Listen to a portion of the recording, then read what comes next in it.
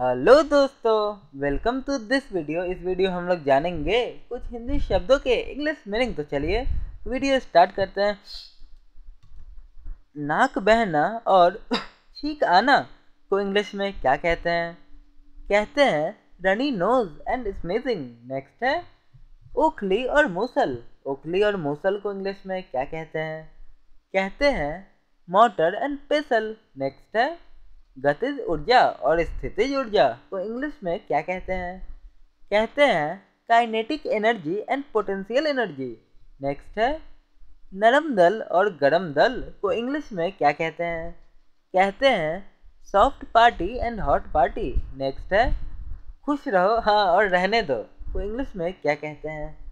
कहते हैं be happy and let it be next है चर और अचर चर और अचर को इंग्लिश में क्या कहते हैं? कहते हैं वेरिएबल एंड कांस्टेंट नेक्स्ट है, चोरी और सीना जोड़ी को इंग्लिश में क्या कहते हैं? कहते हैं थेफ्ट एंड बगलेरी नेक्स्ट है, घात और घातांक को इंग्लिश में क्या कहते हैं?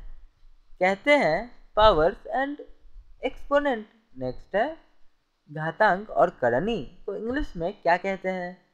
कहते हैं एक्सपोनेंट एंड रेडिकल नेक्स्ट है, नाम बड़े और दर्शन छोटे.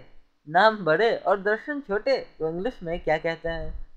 कहते हैं name big and vision small चलिए दोस्तों, आज की वीडियो यहीं पे समाप्त होती है. मिलते हैं।